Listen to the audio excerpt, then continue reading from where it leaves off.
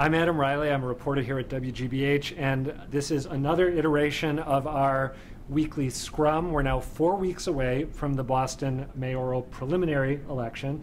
Uh, joined today by David Bernstein, Peter Kadzis, and Anne Mostue to talk about mayoral television ads. So let me just start by asking the three of you which ad uh, each of you likes best, which one you think is most effective, uh, and why. Um, and David, since I'm staring right at you, you have to Uh, go first. I'm not sure about most effective, but I really do like the Mike Ross ad where he's sort of running through the streets of uh, Boston. Uh, Wearing a, a bike messenger bag. exactly, or- and handing out uh, his plan uh, to people he passes on the street. It's sort of high energy, you know, it grabs your attention. Uh, it shows all the parts of Boston, and it, it's very well done. It grabs your attention, and he gets a chance to talk a little bit about um, what he wants to do. And it's sort of his image of I'm going to be the youthful new energy to, to City Hall. So I thought it was pretty effective. And in addition, he uh, he references Tom Menino and getting some advice from Tom Menino at the outset, making it seem like he's got Menino's endorsement or approval, even if he may not. Actually, When I decided to run for mayor, Mayor Menino told me to take it to the street. So all right, Peter and Anne, are you two as um, smitten with the Ross spot as David is? Um, I think the Ross spot's really good. It's it's the most fun. I'm not sure it's the most effective. I think John Connolly's um, sort of documentary "I Expose Bad Food in the School Department" ad is the most effective, and I wouldn't overlook District Attorney Dan Conley's most recent ad. Um, I don't think it's aimed at people our age. It's aimed at older voters to remind them of what he's done. Um, it's not flashy, but in terms of effectiveness, I think it may do what he wants it to do. I would agree. I would say Dan Conley's ad is certainly establishes him as almost a Kennedy Kennedy-esque figure. I do think Mike Ross's ad has the most energy. It's more fun. It's really interesting to me too to notice who's narrating these ads, whether it's the candidate him, him or herself, or if it's a paid voice. right, And voice of God type. Exactly, and that makes a big difference between the Mike Ross ad and the Dan Conley ad. They're just very different. See, it's interesting. Consalvo, who was in early, um, with a really fun ad and a real populist ad that has been sort of overshadowed by the Mike Ross ad. Do you know what the playground is? I, I, I don't recall right. offhand, but it, it's down in Hyde Park. So, Peter, you think that that uh, Ross has managed to steal Consalvo's young, youthful, vigorous thunder? Uh, your, my words, not yours, but Yeah, for the moment. Yeah. For the moment. Um, let's not forget, TV ads last in the memory for about two weeks, 10 days. Um, this is really him introducing himself to all those people who don't know him. I, I would also point out that that really, uh, because of what Peter said, and because of the amounts of money available to these candidates, it's really those last two or three weeks what they're running. Uh, you know, after Labor Day, that's going to matter. Some of what's been happening up to now, uh, you know, for instance, that three-pointer ad from Consalvo.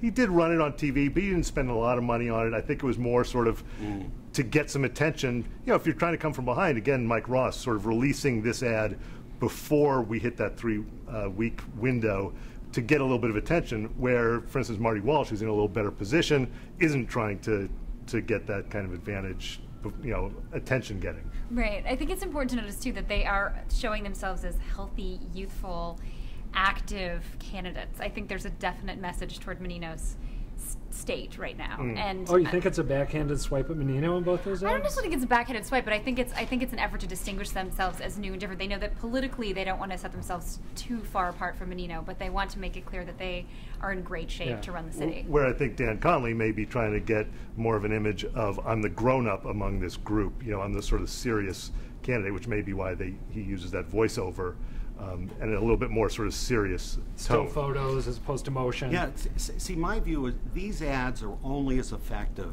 as the ground organization they have to back them up. These ads give people a sense of the flavor of the candidate's thinking. We haven't seen Marty Walsh in there. We also haven't seen anything negative Right. yet. Right. Uh, one question about Consalvo and Ross, and then I want to talk about a couple others that we haven't gotten to yet. Do you think that Consalvo and Ross, as they try to show how energetic and youthful they are, are they targeting different constituencies with their ads? Do you think? I, I, I do. I mean, I think that, that I mean, there's obviously overlap with all these these Right. candidates. Right. Um, I think Ross is is really trying to get um, people who are not. You know, we talked about Conley targeting the older folks who we know vote. Ross to, to get past the preliminary is going to get have to get younger voters, young professionals, uh, people. He needs to get people's attention. So something lively like this, Lively is- in, in a T-shirt with, again, the messenger bag, as opposed to, Right, and, and Consalvo, I think, is trying to be the neighborhood guy and sort of Yeah. the, the young, new ideas version of Tom Menino. See, Walczak struck me, his ad reminded me of a Dukakis ad, a Mike Dukakis how ad. so? Um, uh, high-minded, focused, purposeful, clean.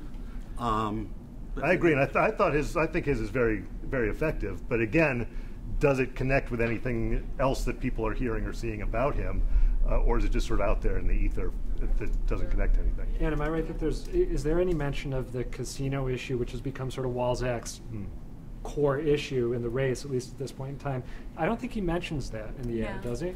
Not that I don't recall, no. No. no, I don't think so. I, I think you're right. Yeah, yeah. No, this Um, is another. This is a broad appeal. Here's who I am. here's what I built. Yeah. And then at the end, he goes for, even though he's a little older than Consalvo and Ross, a little vigor himself, right? With, you know, come on, Come on, Boston, let's think big. Let's think the big. exhortation. What about Felix Arroyo, who's been up, I believe, with, um, is it primarily Spanish language spots or only Spanish language spots? at the Y very no se te olvida votar. El martes I, I think up Yeah. to now the only ones that have aired are Spanish language. that's right. I I, think that's I, right. I believe that he may have uh, put out some you know ads or videos. It's sometimes hard to tell what's meant to be a, an ad and what's really just going to be circulating on the internet. But I think the only ones he's actually he doesn't have that much money to play with, so he doesn't want to waste very much of it too early. Yeah, yeah. What do you What do you two think of the Arroyo? Yeah, go ahead.